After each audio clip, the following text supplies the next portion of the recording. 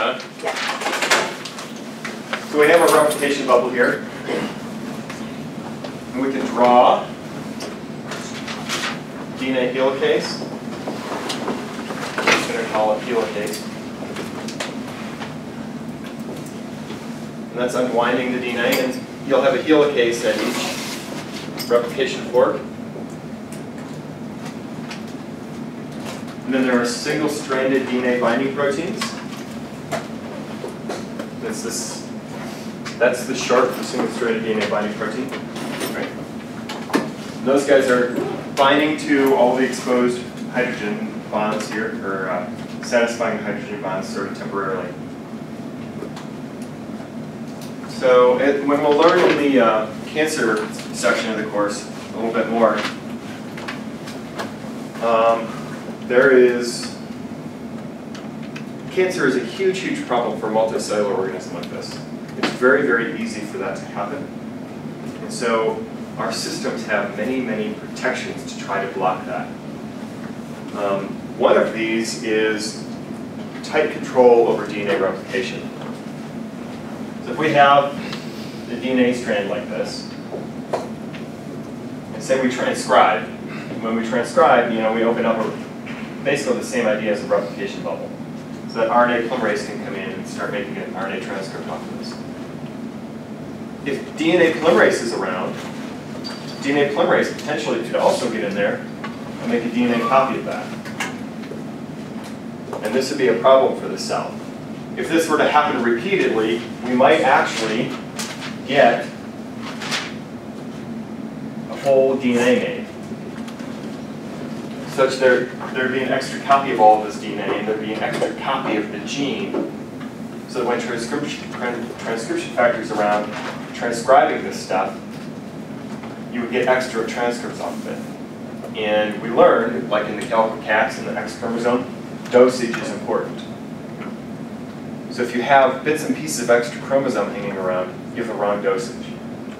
You want your genome to be exactly 2N. So one of the protections of this is that DNA polymerase cannot start all by itself. If you remember from transcription, what happens is the RNA polymerase binds to the promoter, measures out a set distance, melts the DNA, it takes the first nucleotide and lines it on there, puts the second nucleotide on there, lines it on there, connects them. And now you have a two nucleotide messenger RNA, or an RNA started. There's a 3' three prime hydroxyl on which you can add onto there, right? That process was going, did it go well? Yes, this will go good. That process of de novo, or new, starting new, de novo creation of a nucleotide, um, of a nucleic acid, piece of DNA or RNA, is restricted to only RNA polymerases. The three-dimensional shape of DNA polymerase is such that it cannot grab a nucleotide out and line that up and grab a second nucleotide out and connect those to start a nucleotide, um, a chain, right? So the rule is, and to the best of my knowledge, there's no exception to this. DNA polymerase cannot start with nothing. DNA polymerase must have 3' prime hydroxyl on which to add. And that is a protection against cancer for, for this type of thing happening. You don't want this to happen. So when DNA replication is going to occur, how does DNA polymerase get started? DNA polymerase doesn't get the whole thing started. What happens is a molecule, basically an RNA, RNA polymerase comes in. And we call it RNA primase. It makes an RNA primer. That RNA primer is made like this. That's 5 and that's 3, right? So this is a 3' hydroxyl hanging off here, right? And then RNA primase also comes in and puts one on this side here.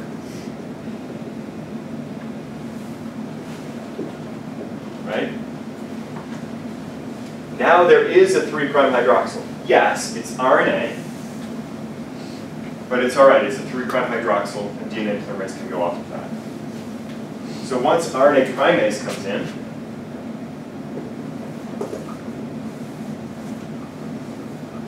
it makes an RNA primer, DNA polymerase can now come in and make the copy. Which direction? Does it start from over here or does it start from over here? You're saying over there? Did anyone say over here? Good. That'd be too silly if you said it extended off the five prime end. Right? I don't know. Huh? What? So, DNA polymerase comes in, it can now add on to this. And it goes around like that. And it uses the nucleotides to put in the complementary strand. Same thing here. Left with the 3' hydroxyl, right? We can add on to that. So as helicase goes and unwinds this, we can keep adding and extending this on down. So then what comes in and adds some DNA onto this side right here? You said that? What'd you say? You have to have the ladder, the Okazaki fragments coming back. You cannot add on to, the only time you can possibly add on to the 5' prime end is when you cap it. Right? 7-methylguanine cap. What happens is, how you copy this is RNA primase comes in and makes an RNA primer here. And then a different DNA polymerase comes in and adds onto this here.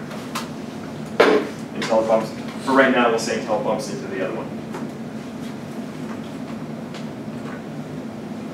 Okay? So if this is our origin of replication, that's the first thing that opened up. As this thing opens up this way, so also we're going to get this right here, right? We have an RNA primer that, sorry, an RNA primer that comes in. And we can make this piece of DNA off this. So as helicase operates, and we open up the replication bubble even further, this guy can go continually. Right? You just keep adding onto the 3 prime end. But now we have another problem. We've got all this stuff here. So another RNA primase needs to come in and put another RNA primer here so that we can extend this like this. Does that make sense? This guy is not covalently connected there, and this guy's not covalently connected. But this guy is all continuous, because you're just adding into the 3' end. So this is called the continual strand, and it's called the leading strand.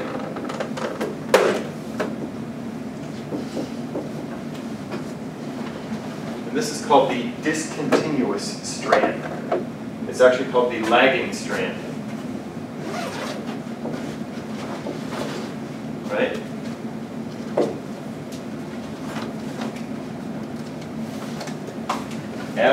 Then ex expands out, and this helicase operates,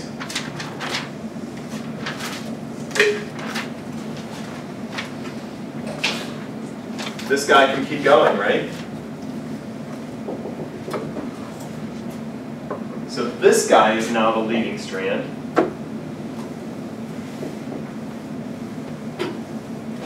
And this guy, we need to add a primer here. Extend that off this way like that. I guess I had another primer here. That's what I had before. So that these are the lagging strand. Right? From a replication bubble, you have a leading strand, and a leading strand, and a lagging strand, and a lagging strand. Okay. I've done this really simple. Any questions to this point? What determines where the uh, voice replication is like, does it just kind of open up on its own, just naturally, or does it does it kind of takes a spot to open up? The question is, what determines where the origin of replication is? In bacteria, there is a defined DNA sequence. There are proteins that bind to it, and they distort the shape and and they open up and melt the DNA. They actually all bind in one spot and then they distort around.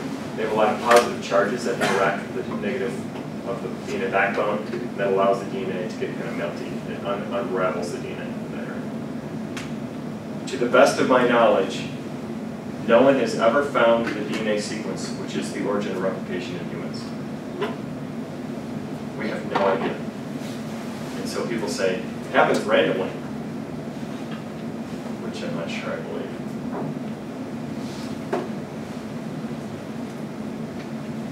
Okay. So, our genome then is, after a replication, if it's just as I've described here, we'll have little pieces of RNA amid our DNA. Our, D, our DNA chromosomes will actually have little pieces of RNA in them. And these are not covalently connected to each other. Right? Here, I guess this one is, sorry, I did that one. These are covalently connected because you extended off of this 3' hydroxyl and off that one. So this connection here is complete. That sugar phosphate backbone is not intact. And it turns out what DNA polymerase does as it's rolling down and adding on nucleotides, if there's something in its way, it's got like a little mouth on front of it and it just chews this stuff away. So what actually happens is as this DNA polymerase is rolling along, when it bumps into this RNA primer, it eats it up adds the nucleotide in its place. And then it eats this guy, and this one, and this one, and this one, and this one, and now it's into the DNA. And it just keeps going. And it just keeps eat, eating away. It's, it's duplicating its effort. We've already got a DNA copy of that. DNA polymerase doesn't care. Chomps its way through and keeps adding nucleotides on behind it until eventually it falls off by chance. Make sense? Seems wasteful. So that's the way it works. That's the way it appears to work.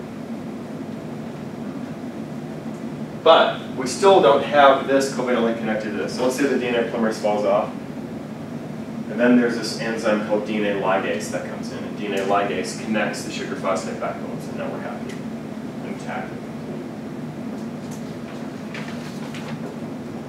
Any questions on this?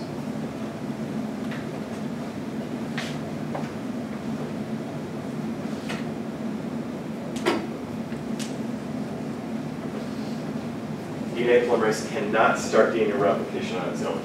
It can only add on to an existing 3' hydroxyl. This is why, one, another reason why you ordered and you designed and ordered a primer for your PCR reactions. Taq cannot start on its own.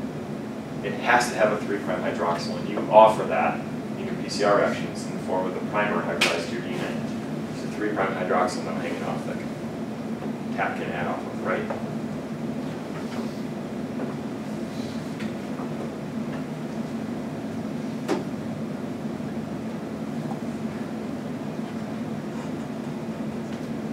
Okay. In a circular genome like bacteria, when the genomes get replicated, you wind up with genomes that are linked together like this. Like if you were to take key rings, here we go. Like the main ring on here and this ring here, they're linked together. I'm not a magician. Are cells a magician that they can like, and then they come apart? No? Thank you. It's topoisomerase again. Comes in, breaks the sugar phosphate backbone such that the rings, one of them gets separated and then they can be separated like that and then the chromosomes can go to the daughter cells.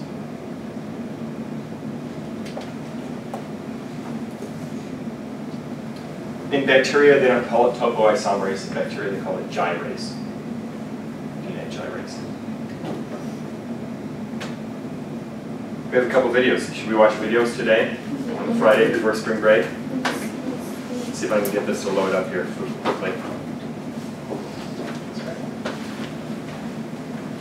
I hope these are still valid.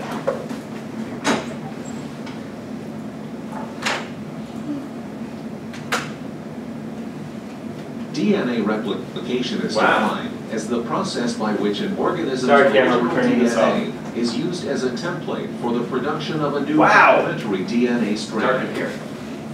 Hands to yourself. An enzyme called helicase unwinds the original DNA's double helix, creating a replication fork.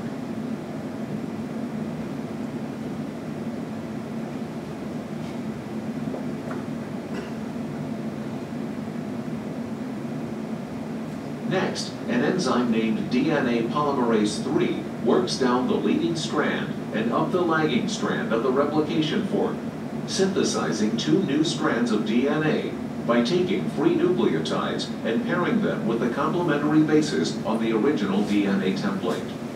The process of DNA replication is described as semi-conservative because the two copies of DNA produced each contain one strand of the original DNA and one entirely new DNA strand. Okay, that was great. Makes the one I want next. This guy's awesome. crazy good. Virgin Mobile has a that didn't work. messaging on the hottest phones for $35.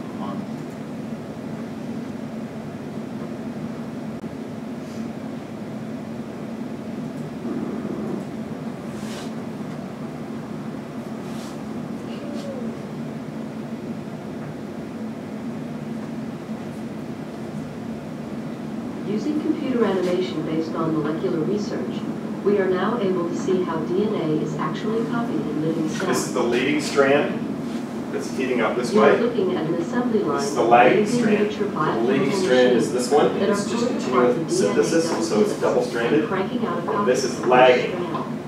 So you get a new primer, now that just ran into The the other primer. copied enters the production line from bottom left.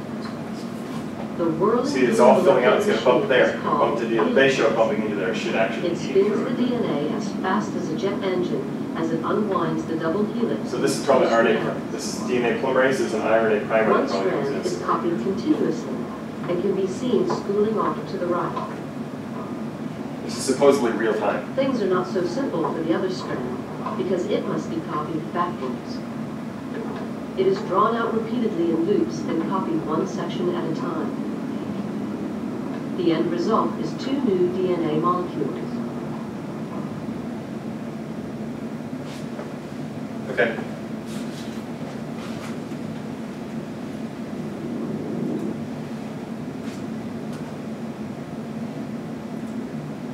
Here's just another illustration of this. This would probably be uh, RNA primer, is this little thing here. Yes. Oh, they show that primer, anyway. You guys have any questions on this stuff? You should have talked about this in general bio too, right?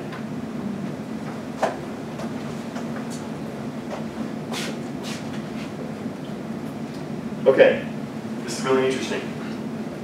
So as DNA polymerase is running down, it's got a three prime hydroxyl here, it says, okay, uh, this is an A, so I need a T, it grabs a T, puts it on. Oh, this is a G, I need a C, it grabs a G, uh, that doesn't fit, it away. This is an A, that's wrong fit.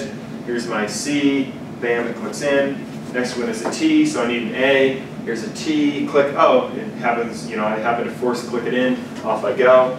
Now we have a T that's not able to hybridize to a T. But it's covalently connected under the 3' hydroxyl here. So it's the new 3' hydroxyl. Now we've got an error. That happens about every 100 bases or so. But the DNA polymerase has what's called a proofreading mechanism. As it moves forward, and it now has the 3' 3' prime hydroxyl on the T that's hybridized to this T, those T's don't hybridize properly. They don't have the right hydrogen bond partner pairings. And so this T actually kind of bulges out. And now the polymerase can't reach and find out what the next nucleotide is that needs to match up here.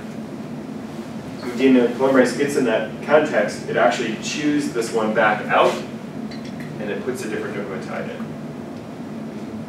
So DNA polymerase has a proofreading mechanism. So, I see, it says one in a thousand base pairs. It puts in incorrectly.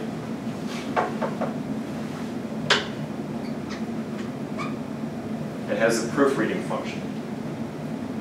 So a mismatch, if a mismatched base is put in place, polymerase stalls, takes a step backward, removes the mismatched base, and then moves forward again. Right? So, proofreading is not enough to get the accuracy. So your DNA polymerase makes an error about one every 100 million base pairs.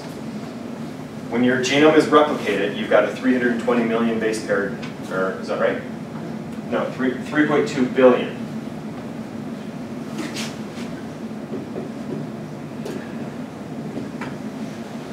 So when you were a fertilized egg, and that cell copied its genome and divided, we say those cells are genetically identical to each other, right? The reality is if you were to sequence the genome of this daughter cell and sequence the genome of this daughter cell, there would be nucleotide differences. So if an error is made one every, what did we say? 100,000? 100 million. So what's that? There's 32 differences.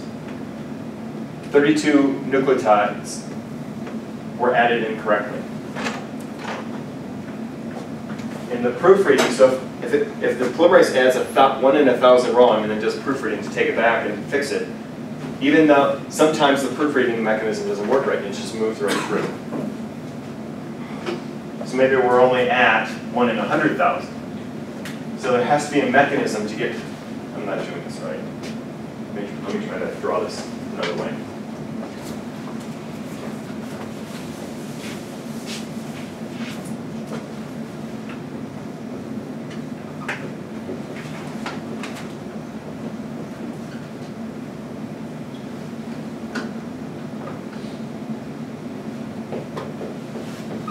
Wrong base goes one in a thousand. Proofreading takes that out, almost every time takes that out, and then we get the correct nucleotide. So let's say that's a thousand times more efficient.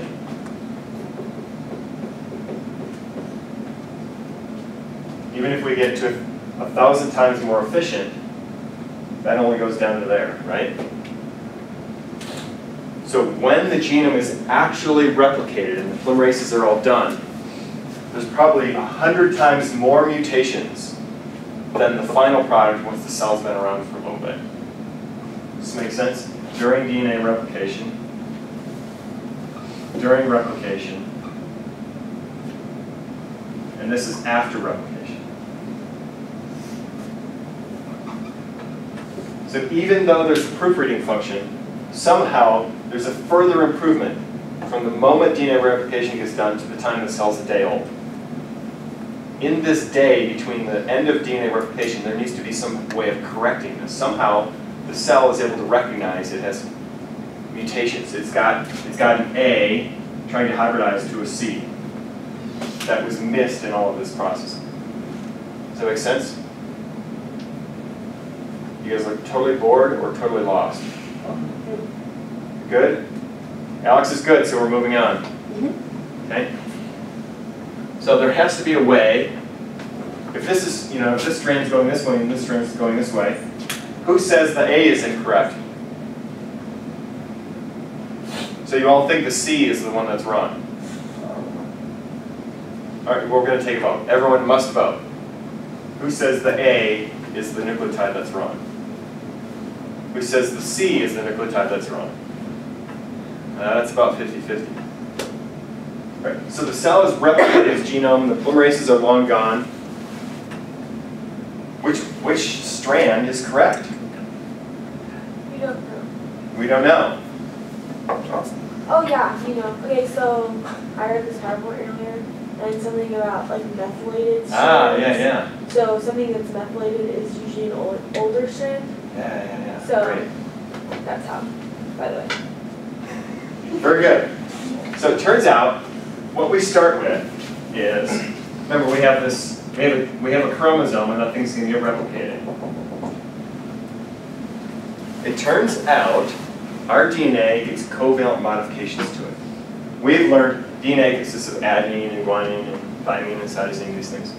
Once the DNA is made, there's an enzyme that goes around and anytime it finds a convenient spot, it puts a methyl group on the DNA.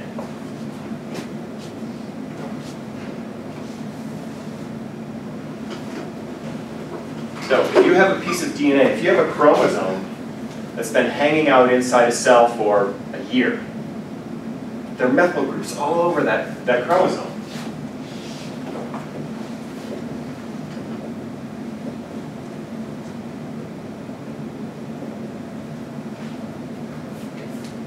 So when this genome gets replicated, what you're going to wind up with is one chromosome has a whole bunch of methyl groups on it, right? And the other strand is brand new. And those guys don't have any methyl groups on them. And this guy over here, of course, was copied.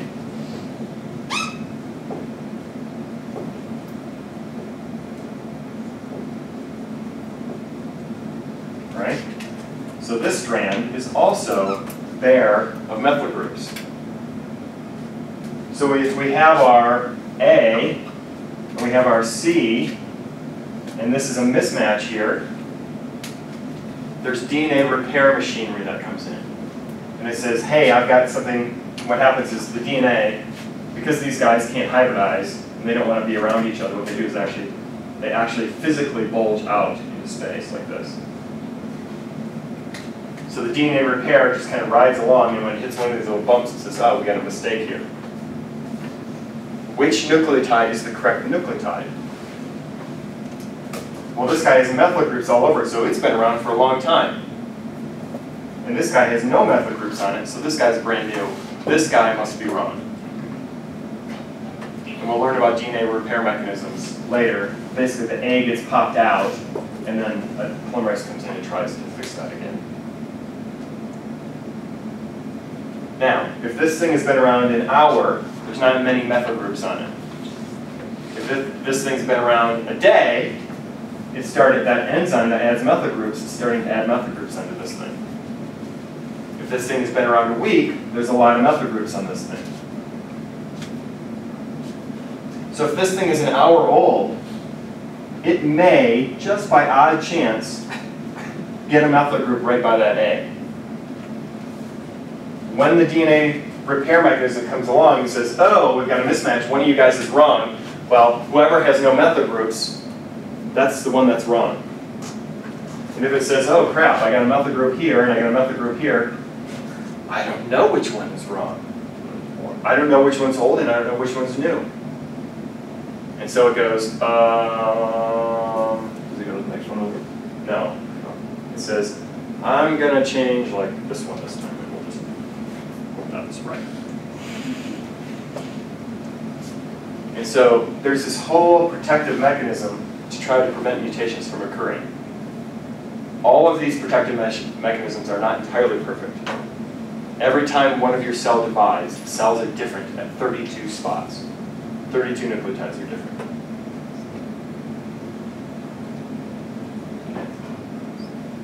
So, your body is 10 trillion cells.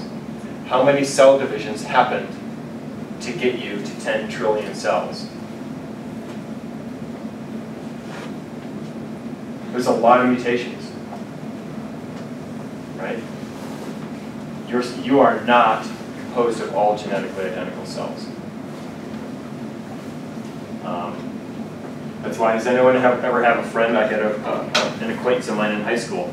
She had a brown eye and a blue eye.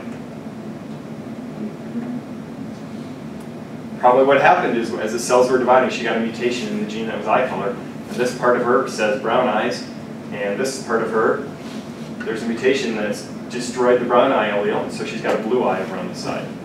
Actually, I think she's blue and green is what she was. Does one eye hurt more if it's like brighter outside? Um, I don't know, I never asked that question.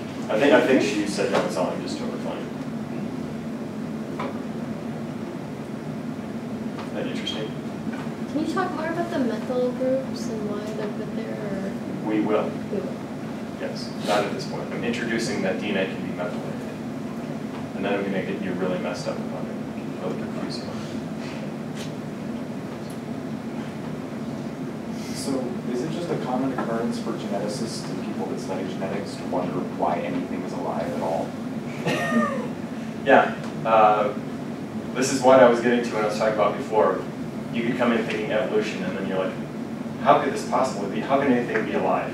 How can anything, how, with all this weird crap going, how could this sort of mechanism evolve to be? Tell me, like, random chemical reactions, Thousands of years. random chemical reactions to methylate the DNA, and this was more advantageous, and so this came to be. You buy it? Sure. At, at this point, you're like, I give up. Yeah. Whatever. It, it seems to work, so it doesn't have to make And sense. so evolution would act on it, and then that would be the way that would survive. And anything that didn't methylate its DNA would be selected out. The lions would eat them, and so those genes would be passed on. So things with the genes to methylate DNA, that's, that's the proposal, yes? How do you get to this state? I don't know. I- I'm gonna leave it open to you guys to decide that. I'm just telling you the way it is. This is what we found through experimentation. Cool stuff. Okay. Eukaryotic chromo- chromosomes. To the best of my knowledge, no one has ever found the sequence of origin of ori in humans. We have no idea what it is. There, every chromosome appears to have many origins of replication. We don't know what it is. We know they exist. So we can actually run experiments where we can see the, the replication bubbles. This is double-stranded DNA coming here, and then the, this is a replication bubble here. So there's a replication fork and replication fork. So on this one chromosome that isolated, look at all the different replication bubbles that are forming on this thing. So there's a lot of these happening. And the replication bubbles, when they bump into each other, they fuse into one huge replication bubble, right?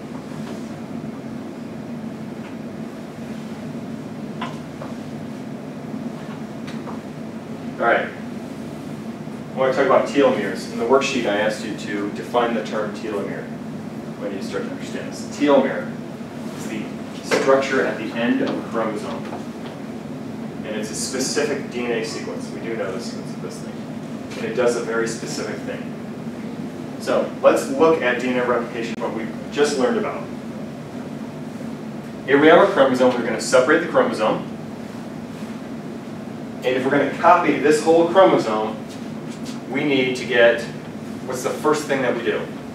We've separated the strands. DNA, DNA polymerase coming in now. RNA primase comes in and makes a primer.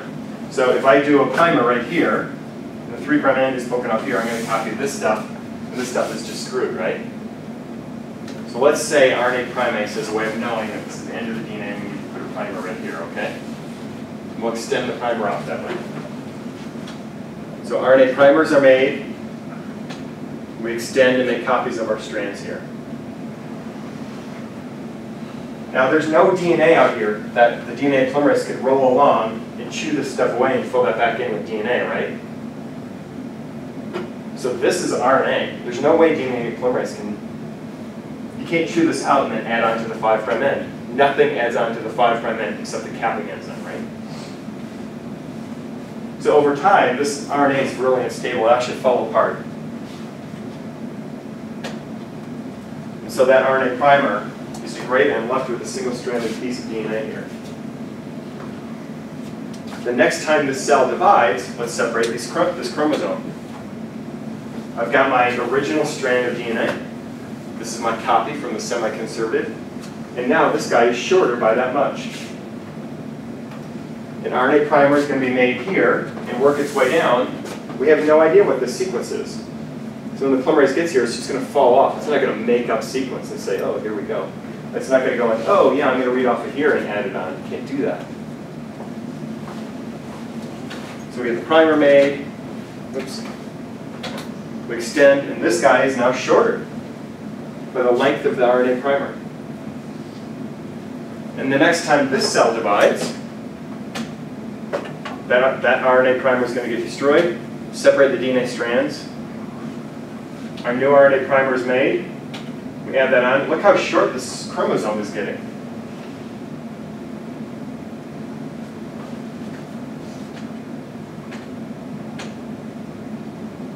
compare the size of it to the original chromosome. Every time a cell replicates, it loses a little bit off of its ends. Absolutely, that's definitely, absolutely what happens. The telomeres get shorter after every cell division. How long, how much, how many times can a cell divide before there's no chromosome left?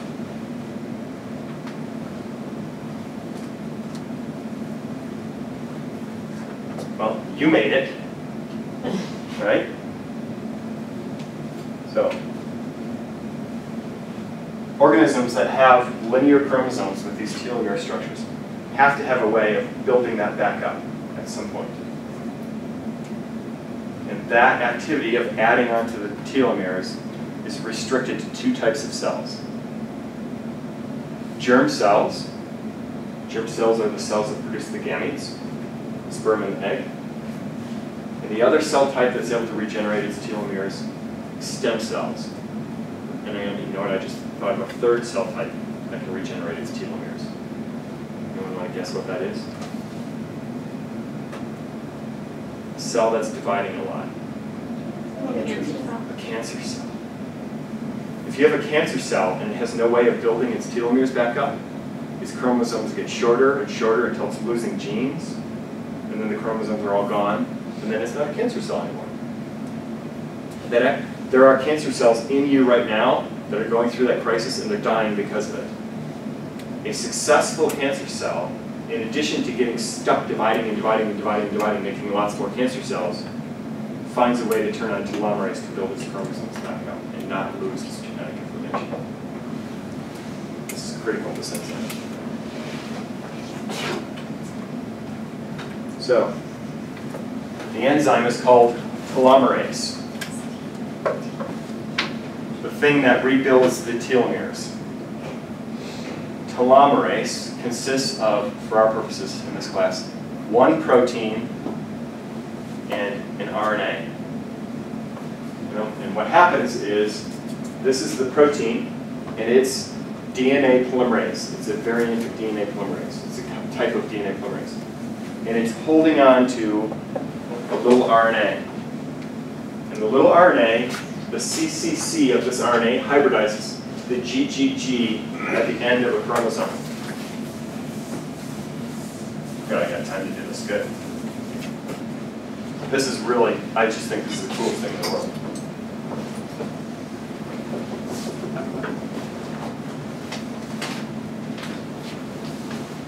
What did we get? We got the overhang was over here, right?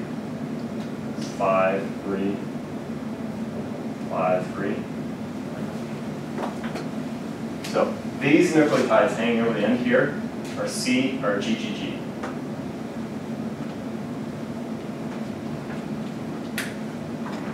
And the DNA polymerase comes in and it has an RNA, and the RNA hybridizes like this, and then it is what is?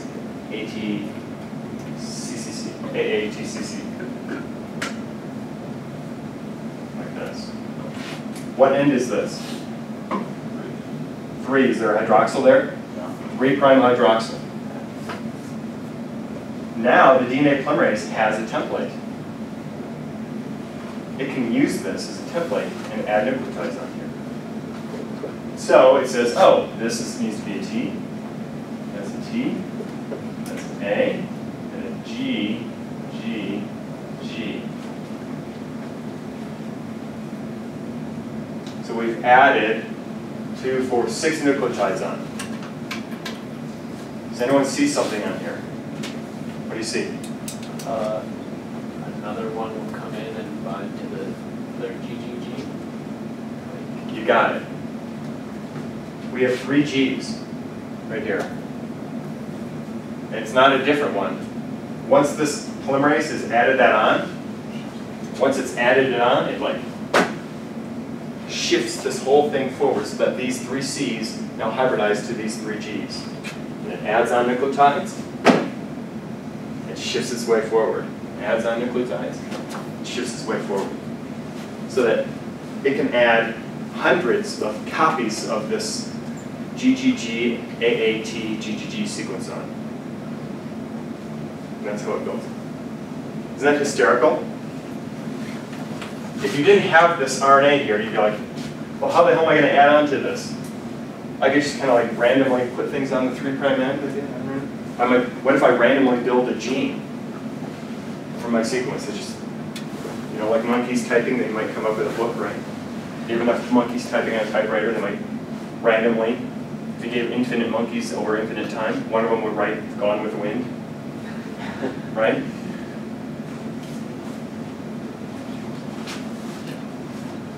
So then, it will continue, it'll make another. The CCC will hybridize here, so we get a T, T, A, G, G, G, T, T, A, G, G, G, T, T, A, G, G, G, T, T, A, G, G, G, T, T, A, so on. Awesome. We've extended one chromosome. The other one is screwed, one, one strand of this chromosome. The other strand is screwed, right? It's still only here.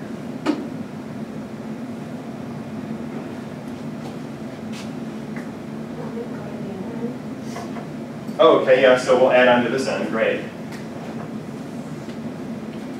Well, now this guy's screwed because it doesn't have all this. Travis, you have a solution? The primer bind further up and just build back? RNA primase comes in, builds an RNA primer here, that's the 3' hydroxyl. DNA polymerase can then add on to that 3' hydroxyl. DNA ligase connects them, and now both strands are the same length.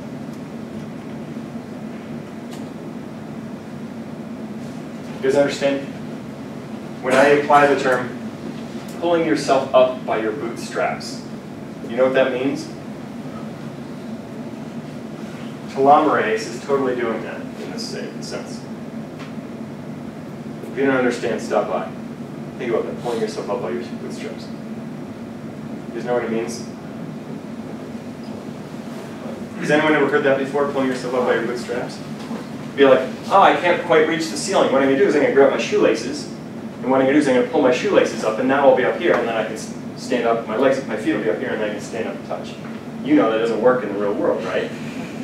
But telomerase just did that. It didn't have anything to copy this, so it brought something with it. That's what, does that make sense? Anyway. Okay.